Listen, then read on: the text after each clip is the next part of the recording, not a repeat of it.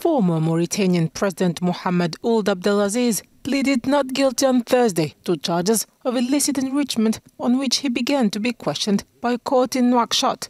He is facing charges of abuse of office, influence peddling, illicit enrichment, and money laundering, along with two former prime ministers, former ministers, and businessmen.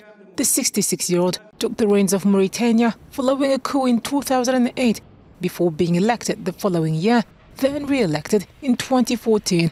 Aziz claims he is the victim of a plot hatched by people who opposed him during his tenure. He challenged the charges as being baseless, putting forward the constitution, which he said prohibits trying a president for acts committed in office. Since the opening of the trial on January 25th, it has been a series of arguments about the court's jurisdiction, whether or not to maintain Aziz and his 10 co-accused in detention, and the rights of the defense.